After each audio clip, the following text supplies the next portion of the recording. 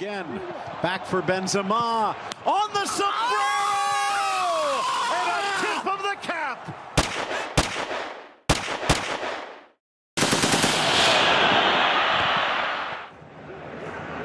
Reception by the captain. In for Hazard. Touch through for Benzema!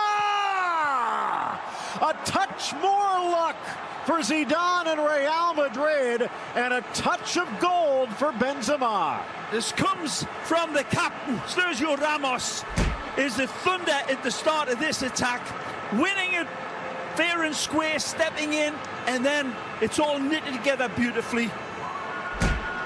Lovely attacking flair by Los Blancos.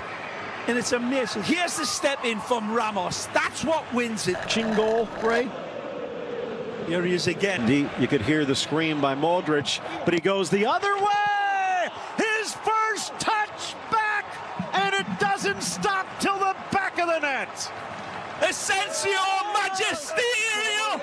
Nothing less. His first touch is heaven sent. As if the good Lord above says, Rocky's right. This is a footballer. Let me show you the way. He is a hammer looking for this nail. And he strikes it plumb.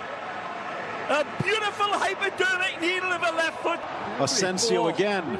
Back for Benzema. On the sombrero!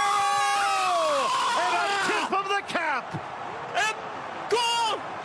Absolutely created in the heavens here. This is stupefyingly magnificent football.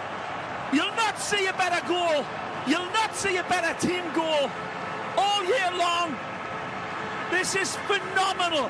When we look at this, this stardust sprinkle. What a second half. A final half hour to remember for Real Madrid. Well, again, nothing more than magnificent from Real Madrid. They were as cool as James Bond in their white tuxedo. Marco Asensio, king of the match for Budweiser, with a stupendously magnificent goal and assist.